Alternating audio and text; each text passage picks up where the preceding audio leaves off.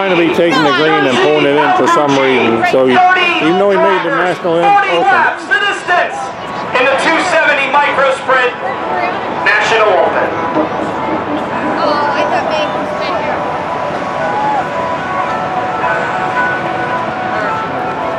No brakes. no brakes. Oh man.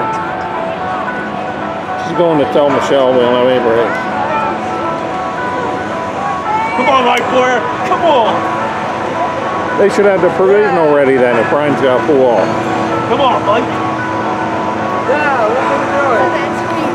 Oh, yeah.